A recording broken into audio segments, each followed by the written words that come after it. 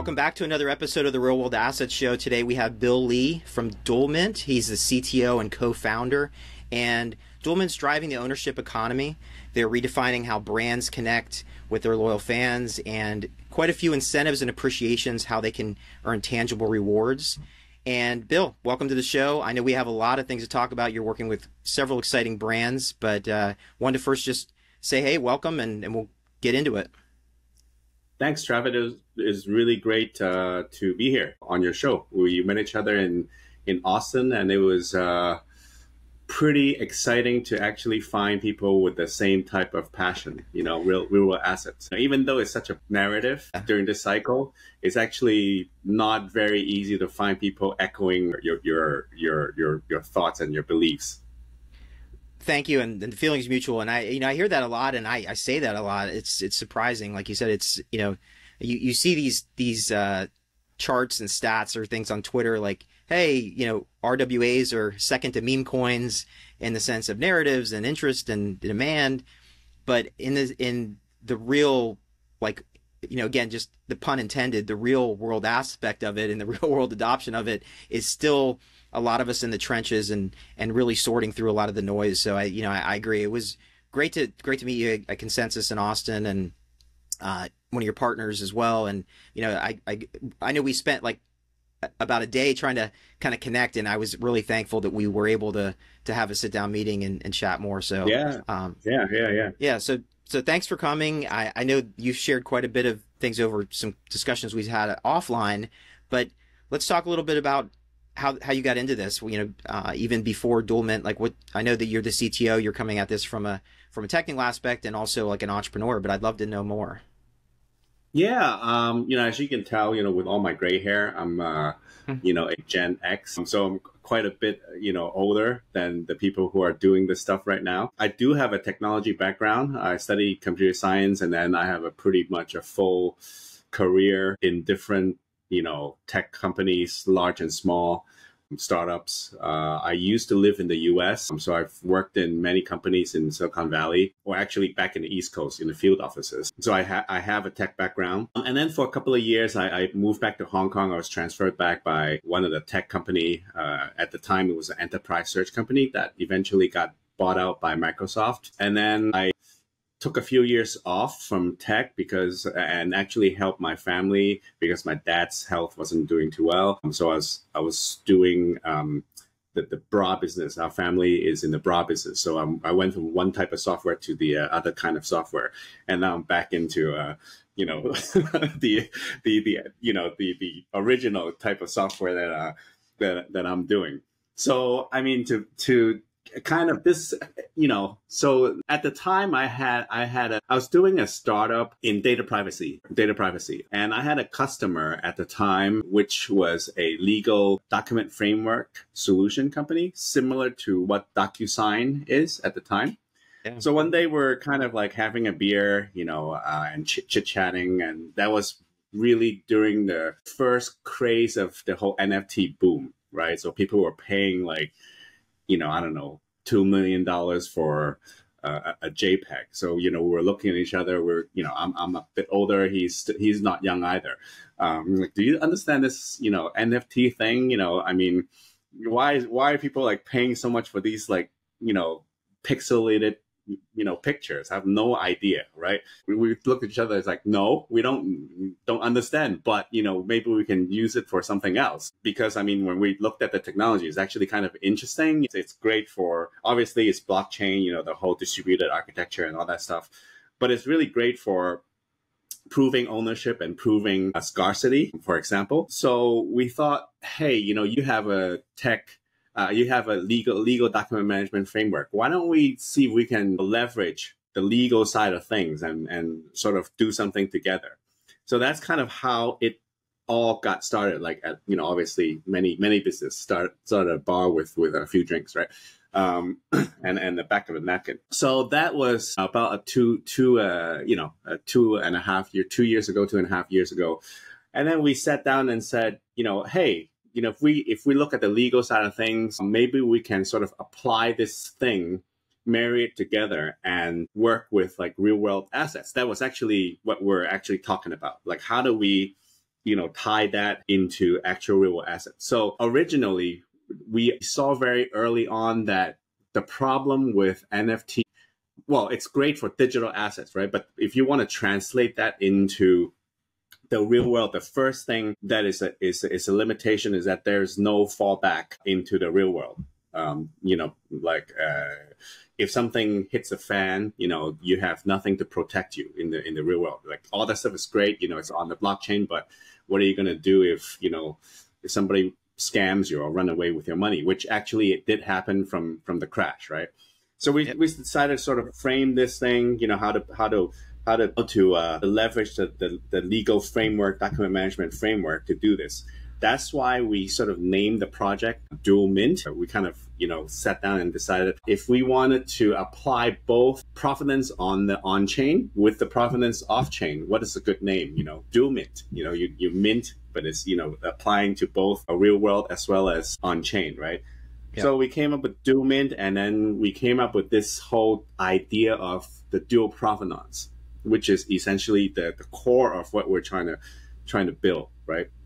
So dual provenance is an idea where we can have two-way linkage between an online provenance with a real-world provenance. And the real-world provenance can be, you know, it can be simple like a GIA certificate, because you know, for, for a diamond, or it could be as complex as you know any legal, um, you know, contracts that you work with with with the underlying parties, right? So with the what we call ecosystem partner in place, you know, we have a way to basically import, you know, legal documents or what have you, and have a workflow to include all the stakeholders that might be interested in shaping this real world provenance, what it should look like. And at the end, we can basically digital sign it and then, you know, using it as a metadata on chain, taking the metadata, uh, taking the actual hash and putting it back into the actual provenance, right? So now you have have a two way linkage. So that was like sort of the first step. So, but we thought, hey, you know, but then, but then the problem is if we're looking at real world asset, it's not just about taking a picture of it and putting it on some glorified, what we call distributed marketplace, right? Because that's not really, to me at least, it's not really supporting real world assets because there are a lot of different things that real world assets needs needs needs touch points to be supported on, right? right? Like for example, like it might need, need logistics, it might need authentication, anti anti counterfeiting, you know, maybe even insurance, uh, appraisers, what have you, any anything, right? So, so the second thing we we looked at is how do we how do we address this? So being a startup, right? Obviously, we have limited resources, like, you know, don't want to spend too much of our own nest egg into this thing, right? So, so we thought of, hey, instead of building it ourselves, you know, since we already have using this ecosystem framework, might as well recruit other ecosystem partners. So we went out and looked for a few more partners, right? So we found we found a logistics partner. We found a uh, lifestyle and uh, lifestyle and entertainment uh, investment partner, and we found a anti-counterfeiting solution partner. That is actually a very interesting story in itself because it's a passport grade anti-counterfeiting solution that is being used in many passports around the world. It's it's based on hologram, uh, holographic. Well, I can't really do it justice because I mean, I you know the the it's it's it's a it's a passport grade holographic anti-counterfeiting solution. So with that, we we we basically have the first ecosystem partnership that we can sort of you know really put in place and support a, a very amount of real world asset out there because we have logistics, we have anti-counterfeiting, we have a legal, right? Obviously, we're, we're continuing to want to to to um, to uh, you know recruit other ecosystem partners. So if any listeners out there who are you know have solutions and want to join our ecosystem feel free to contact us and we're, we're very happy to to speak to you guys. So that's essentially a very quick you know few minutes overview of how we sort of got started here in the in the rwa space. I love that. I mean i, I think well first off I, I just to, to the end of what you mentioned i mean partnerships in rwa is is critical. I mean, and and I believe that in any business. I mean, it just it's not my first rodeo either. So businesses I've been involved with, uh, it's been very clear that partnerships, uh, tight relationships uh, are key. But also in RWA, as you know, this is one of the, this is a very unique time and a very unique place. And I think to to our point at the beginning about how it's nice to find people that are passionate about this and are, are building. It's also one of the most giving and most you know just non-competitive type of spaces because even if people are building similar things or they're involved in some similar things or there's some overlap, everyone seems to have a very giving first type mentality, which is great. So I, I love yeah. that. And, and I will say, you know, and I think that, that was a perfect origin story of, of understanding where you are you know, where you're going, how you, you know, uh, we'll get into what, what accomplishments you've had and even some of the pivots. And I, and that's what one of the nice things is you're building is you kind of learn these things as we're hmm. early in this, this adoption phase and, you know, there's, there's pivots that will happen.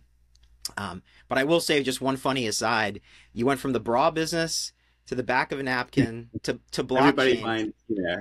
Everybody finds that for Yeah, I, I love that, and also like I have to at least call out that you know there's two holes in a bra, so dual, like it's a yeah. dual mint. So you know, I guess yeah. I don't know, like you might still be able to bring that into an RWA ownership profile and yeah, rewards exactly. at some point. So who knows? Exactly. But you know, you never exactly. know how these these uh, backgrounds we have turn into other things. But anyway, I I'm digressing, but I you know I like to to to call that out. But let's talk a little bit about like some of the projects. I know we've talked quite a bit about some of the brands that you're working with, some of the projects. I know some you're not able to kind of get into full details about, but let's really talk about some of the specific things you're doing at Dual Mint now. I know, you, you know, with the technology, you're calling these real world asset tokens, and yeah. you have several brands and, and stages you're working with them. But I'll, I'll kind of give the floor to you to, to which direction you want to go first with that. But I, I know that I'm super excited about all the brands that you've you've talked to me about.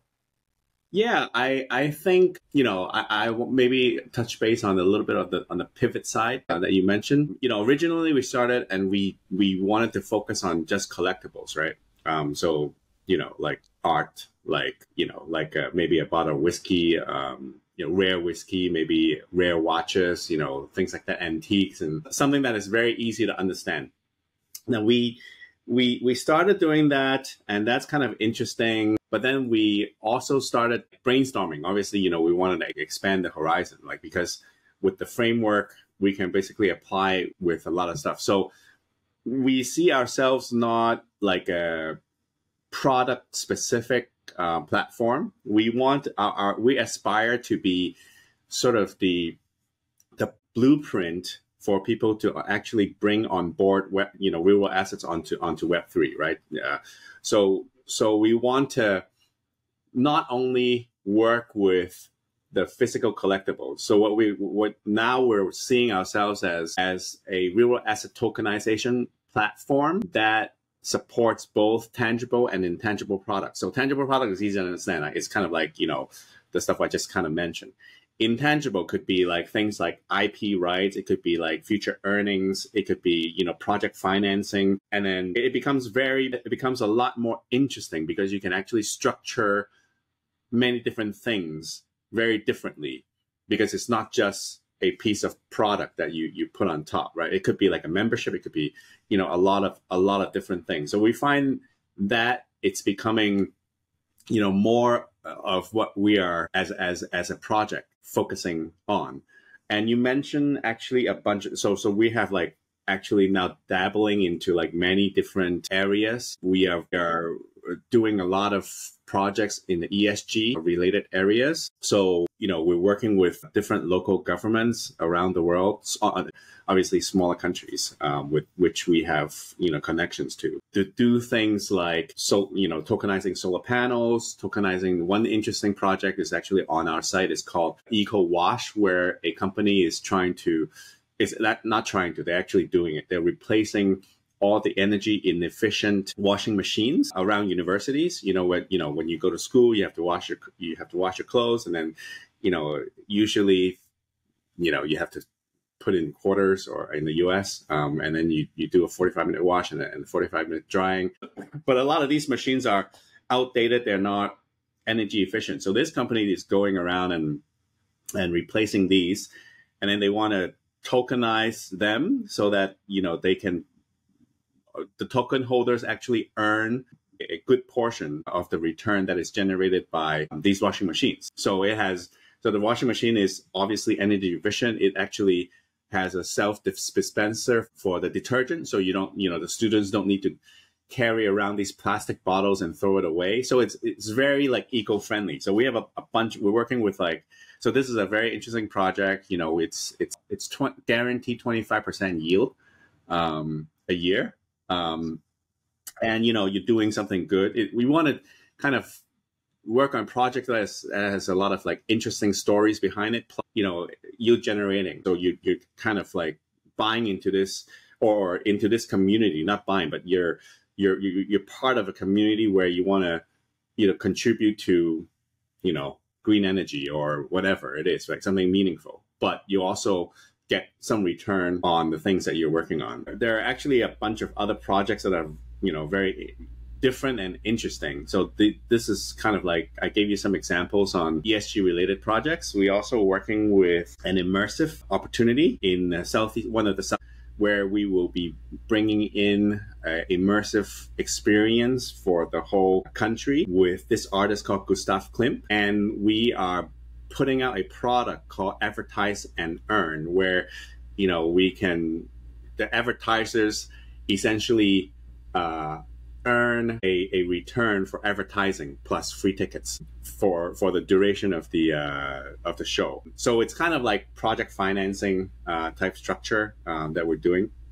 Another one that is really interesting, uh, you know, U.S. bound, is we're working with a Napa Valley um, uh, cult wine that is that has already like you know it just it's a very young brand that I think just formed I think the 10, 15 years ago, 10 years ago. And it's now has already won a lot of awards. They are selected to be one of the eight pours in, in Davos uh, next January. So, you know, it, it's very high profile. Elon Musk is doing something with them uh, as well. So we're using our, they're using our technology, the anti-counterfeiting technology plus our blockchain to solve a whole bunch of, you know, address a whole bunch of things in in in, in I can't really be going into too much details because it's hasn't hasn't been released, but it's going to be very exciting once it does. And this solution is going to he I think the they will be presenting this in Davos um, to you know a lot of the the, the the, the leaders over there. So you know that's just just a you know, just a very high level overview of some of the projects that we're involved with. Because with our framework, we're actually in, attracting a lot of these interesting projects um, around. Yep. Plus, you know, you know, the, the, the, the founders actually have pretty pretty good like network of uh, of businesses. So that's how we can also source some of these interesting projects as well. Yeah, I think to your point, the type of people that you're going to attract to typically are forward thinking, open to do, you know, like you're right. not going to always attract a winery. Although I've seen really, really strong blockchain use with just more the transparency of wine production, for example, like the QR code type of idea on blockchains. Yep. But yep. You, will find, you know, you won't find, hmm. you know, maybe wineries have been around for 100 years as interested always in immediately going to blockchain. You might, but I mean, it's nice to you know cult like newer brands that um, are open to this and adopting early is, is great. I mean, because it, it aligns really well with your ethos as well. And you know, I think to your point, it's the where this is going is just the ownership economy, as as you guys label so well mm-hmm. on on the beginning of the site. On uh, the this really is the future. It's you know, in Web 2, we had points and reward systems and apps that, you know, like you get a few points here and there. And, you know, it's argued that 90% of people don't take advantage of their rewards. But yeah. I'm completely on board with Web 3 is a complete game changer when it comes to incentives. Aligned incentives, yeah. whether it's tokens, whether it's, you know, ownership, uh, whether it's specific rewards, they're significantly more uh, aligned because as you mentioned not only the way you're aligning with projects based on your ethos and based on you know exciting opportunities and and kind of like the public good aspect of some of these is mm-hmm. that that's how investors you know the average investor in the future not you know mm-hmm. not uh, a credit investor type of idea necessarily but regular investors that are looking to align with their you know with what they want they they want to see in the world you know do they want an energy efficient world they want a more green you know sustainability might be their biggest area that they want to focus on yep. so yeah I, yep. I like how you're tying these together and the fact that they're being asset agnostic and I, have talked to a lot of projects this way and i think you're building the tech you're figuring out how the tech you're making the tech work you're mm-hmm. meeting projects where they are in in their web 2 world and you're you're providing that bridge you know you're providing that you know api connection yeah. so to speak I actually I think this is very important. I think you know the first wave of RWA is obviously being led by all the financial assets, right? You know, which is pretty natural because the, the dollar value is a lot higher. The transactions are a lot more. But collectively speaking, actual real world asset obviously is a much bigger market. But you know, it's great that you know people like Black uh, companies like BlackRock is actually leading the charge and putting this whole concept of RWA into markets, right?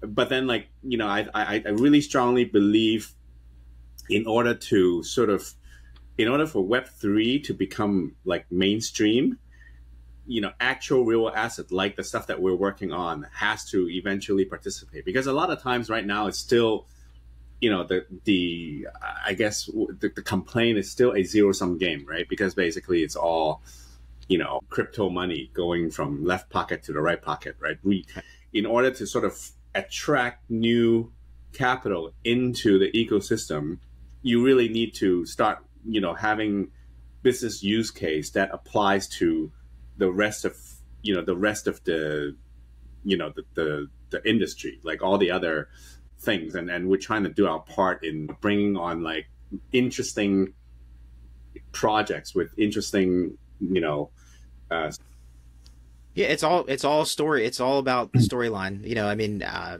just like this conversation we have on the podcast i mean it's it's really about having these stories what you know and um, presenting that, you know, getting the word out. And a lot of it, it's way more interesting if there's a great backstory and a, and a great application. Yeah. And to your point, I think the unlock, you know, there's a lot of it. We're in the education phase, we're early, and projects are figuring it out.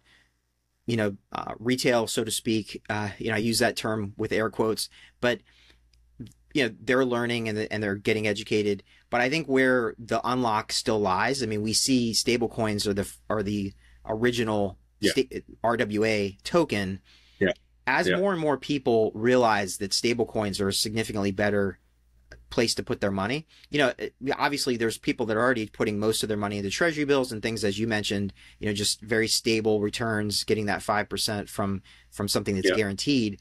But if you're looking at just kind of beating inflation, so to speak, settling in stables, yes. getting a certain percentage of the population into stables I think is the you know there's there's multiple things that are going to unlock this, but I think that's one of the biggest unlocks because it becomes less of a zero sum game because you don't feel like you're trading from the left to right pocket and you don't feel yeah. like it's uh, speculative crypto because you're in stables. You might be, you know, in, in the U.S. it's arguable right now, like a, the dollar might be worth, you know, 89 cents, not a dollar. So, you know, if you're settling in stables or getting paid paid in stables to begin with, you know, you're you're theoretically starting off in a much better spot. I think that's where you can apply that yeah. you know to projects like Dual Mint where you want to take those stables and you want them working for you and getting a yield. Exactly.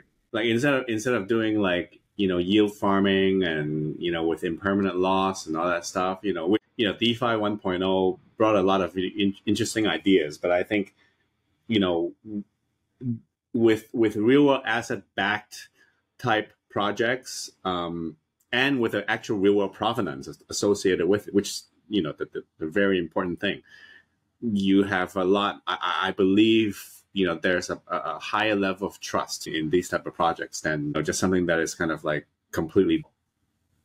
It is, yeah. Th- th- you're right. I mean, it's it's yeah. very important to emphasize your focus on the dual provenance. You know, and I think that's yeah, that because you know having a token to say that this is wine, as you know, um, we've seen it yeah. not work plenty of times before. Yeah. You know, so if you yeah. don't have that dual provenance and you don't have the technology figured out and that you know uh, that tie to the real world asset, uh, which requires work, which is why you guys have been you know busy doing that and and figuring it out. And I, I do like that you've because as you mentioned, you're asset agnostic, but I think you've you've found a little bit of your stride in this in these unique projects that mm-hmm. also align with typically a very passionate audience. You know, whether that be sustainable, whether that be yeah. the the wine side of things.